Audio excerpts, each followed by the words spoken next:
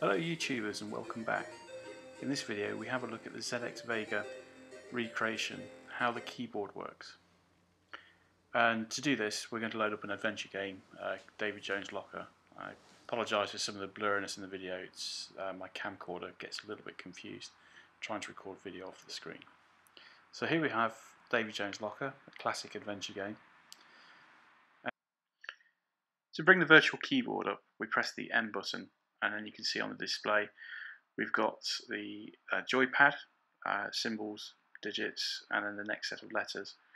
The keys FS1 and 2, the rubber keys, indicate A, B, C, and D in this instance on the uh, light blue section of the screen. And then the four buttons underneath the rubber keypad, um, A, B, C, and M, represent delete, enter, options or return.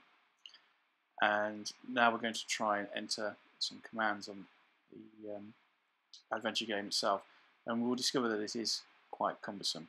So as a reminder, here's the layout of the Vega. As you can see, the four buttons FS 1 and 2 um, represent the letters now E, F, G and H. So we're going to try and enter grab dog. First time playing this and you see I've made a mistake the A button will act as a delete, and that is the A button, the four small ones underneath the big rubber keys. And it takes me a, a little while as I have to cycle through the keys and to enter the command. It would have been better if they'd added a space key um, as well as a delete and enter, but I guess they ran out of um, uh, keys on the, the device itself and the game doesn't like grab dog so I'm going to try and enter pick up dog now. Can't leave him on the boat after all can we?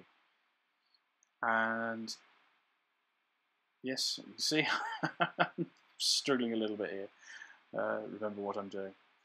Um, one of the interesting facts is that the device doesn't remember where uh, you left off so each time you start back at the beginning i.e. when you select letters, digits, um, or symbols, it will automatically go to the start as opposed to the last um, panel that you had on display.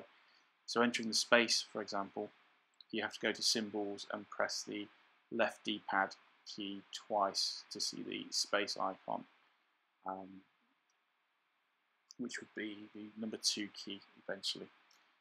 Um, so we're going to pick up the dog, uh, taking a little dog, and about at this point uh, I got quite bored uh, so the ZX Vega is not a viable uh, unit, in my opinion, for playing adventure games. You'd be better off downloading an emulator for your PC, your Mac, your Android device, and installing the um, uh, the TAP Z80 SNA file, whatever you've managed to download from World of Spectrum, onto the, your emulator and playing from there. I think it'd be a more pleasurable experience. Well, there we go. That's how the keypad works on the ZX Vega. Thank you very much for tuning in. And if you like this video, don't forget to subscribe. Thank you very much.